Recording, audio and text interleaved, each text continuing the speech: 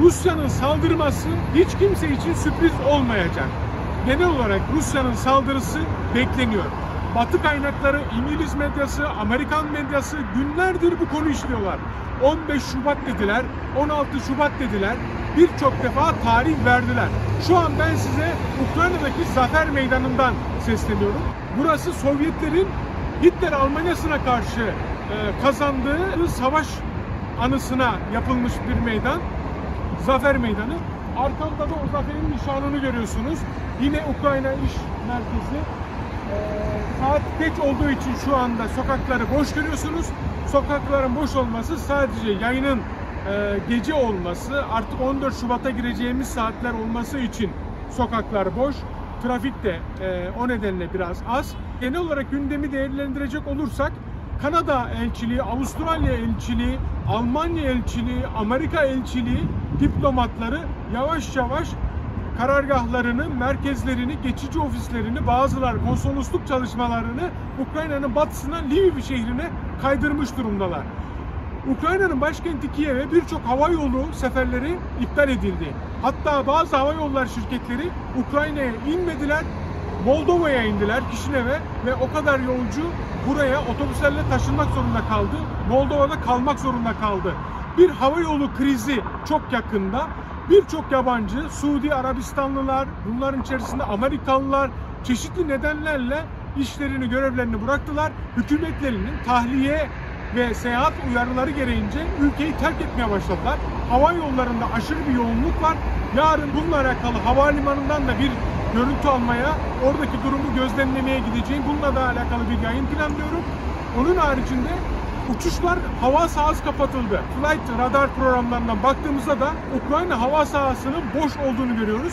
Ancak orada çok yoğunluk var. Kiev çevresinde bir yoğunluk var. Özel jetlerle, küçük jetlerle imkanı olanlar da kaçıyorlar diyebiliriz. Ya da hızla bölgeden uzaklaşıyorlar jetler olanlar. Tabi herkesin jeti yok.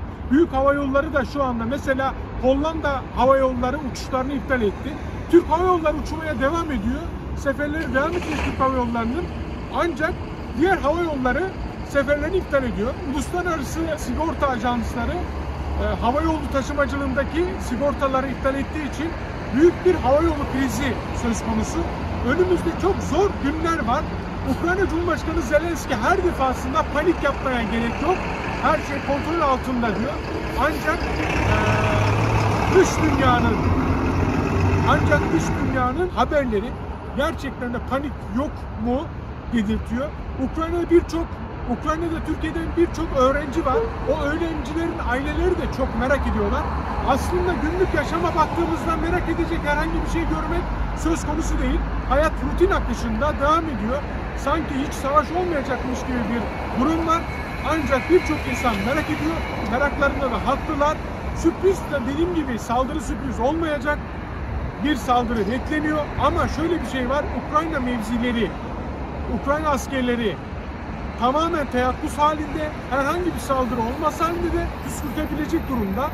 Dünyada derin güçler, belli merkezler savaş olmasını istiyor. Bir savaş lobisi var. Bir de normal vatandaşların savaşa karşı direnişleri var. Önümüzdeki günler gerilimli olacak ve bunları göreceğiz. Öte yandan birçok inananlar, bunlar içinde Müslümanlar da var. Bazı Müslümanlar hava şartlarının iyi olmasının Rusya'yı caydıracağı için havaların güneşli geçmesi için dua ediyor. Hakikaten de güneşli. Havalar ısındı. Ukrayna'da karlı bir ortam vardı. Karlar eridi. Öbür taraftan e, Papa dua ediyor. Bartolomos dua ediyor. Din adamları, Müslüman olsun, Hristiyan olsun bütün din adamları barış için, huzur için dua ediyorlar. Çocuklar dua ediyor, aileler dua ediyor. Savaş olmasın istiyorlar. Umarız savaş olmayacak. Umarız bu gerginlik bitecek. Hello, I'm Julia. Uh, I come from Italy. Merhaba ben Yulia. İtalya'dan geliyorum ve daha bugün indim. Kiev güzel bir şehir. Hiç endişe hissetmiyorum. Yarın işe başlayacağım. Olaylar hiç televizyonda gösterildiği gibi değil. Saying, for example, at the TV. So А, Это очень грустно, что такие вещи происходят в 21 веке. И я надеюсь, что европейское сообщество сделает равноценный ответ а, на такие угрозы нашей прекрасной стране. Ну, вообще я против войны, но как бы мы платим все налоги и содержим армию. Надеюсь, что если будет, не дай бог, но если будет война, то я надеюсь, что наша армия даст э, а, равноценный ответ и как бы защитит нас от э, агрессии э, путинского режима.